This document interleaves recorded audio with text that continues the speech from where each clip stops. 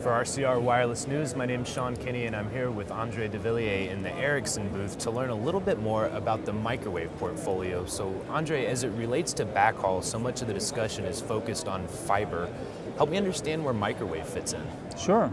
Well, um, as you can imagine, fiber, uh, there's definitely a focus on on deploying fiber as, as, uh, as much as possible, but fiber can't be everywhere. It's just not cost, uh, cost effective to deploy in every location. Um, so microwave is basically there to extend an operator's fiber footprint. Um, what, uh, what, we, what we can do is, uh, uh, is, is, utilize fiber for, um, uh, for short distance extensions to uh, fiber deployments such as an E-band microwave link. Um, that is capable of up to 10 gigabits per second over a two kilometer you know, sort of range.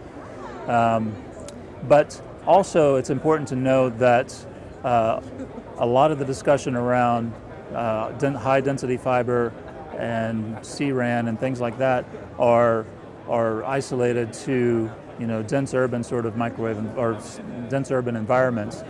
Uh, and that's not necessarily the case in the, in the majority of cell sites. Or uh, there's a lot of suburban and urban or and rural uh, sites where uh, you don't necessarily need, and I think we've done projections that, that, that say, you know, the, the need for uh, backhaul capacity is still sub one gigabit per second, and even, even as you go to 5G in, in some of those suburban um, applications. So uh, we, we need to be able to cover a range of distances as well as capacities uh, in order to serve all the cell sites that are, that are out there.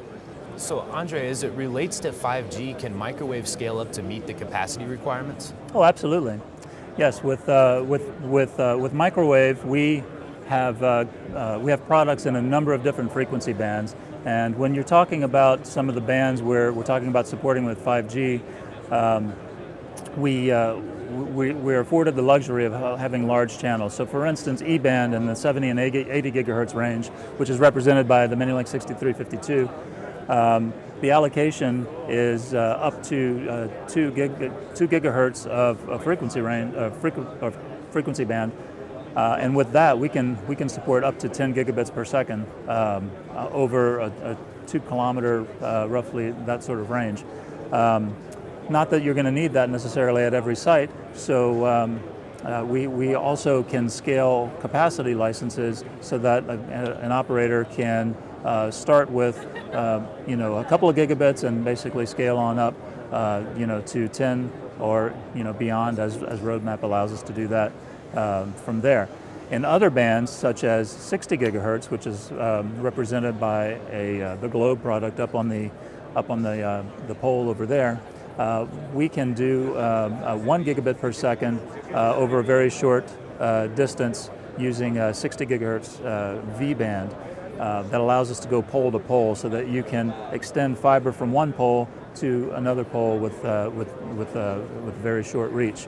Um, you know, so, so that sort of application can work. And then if you have to uh, traverse much, much longer uh, distances, then we have our traditional microwave represented by the MINI-LINK 6363 that um, that starts in 6 gigahertz and works uh, and, and, is available all the way up through 39 gigahertz.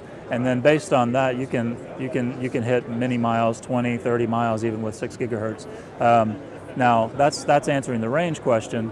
What, we, what we're able to do with this radio, since it's so small, is stack those radios into multiple channel configurations so that um, with, with one of these channels we can support uh, over the air uh, up to a little bit more than 750 megahertz or megabits per second. So you start to add a second radio, we're talking about 1.5 gigabits per second. We have a 4 plus 0 radio configuration that's represented with the long haul split here that would, you know, could you, give you 3 gigabits per second and on from there. So uh, yeah, I, absolutely, we believe that uh, that microwave is there. And then there's also research and development into bands well beyond what we're able to do in E-band that uh, has the promise to, to deliver 100 gigabits per second. So it sounds like you have a lot of flexibility in your microwave portfolio here.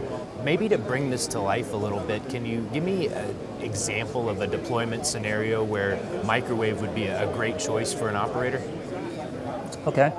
Um, a, couple, a couple of uh, different scenarios, let's say. So, um, with, so I'll actually start with front haul, with, uh, represented by the 6392 that Michael mentioned earlier. Um, in that case, you might have a macro site that, that has uh, good coverage toward maybe two of its sectors, and then that third sector may be blocked by a building. But if you want to provide coverage on the other side of that building, then, uh, then you need to provide the radio there. The baseband may be located with the other two sectors. So the, the CPRI link that would be required between the baseband and that remote radio head could be connected uh, with, uh, with the, uh, with the uh, CPRI over microwave solution. So that, that would be one, one case. Um, other cases would be where, uh, where, where fiber is not uh, available, um, whether it's a rural environment or, um, or whether you know, it takes a long time to, to bring fiber to a location or you don't have the, uh, the, the permits to do so, then, then microwave can be, uh, can be utilized uh, to, to bring a link uh, up quickly to, to serve that site. Okay, so it sounds like microwave has a very good place in 5G, just a, another tool in the toolkit, right? Absolutely. All right. Thank you very much for your time today. Yes, Andre. thank you.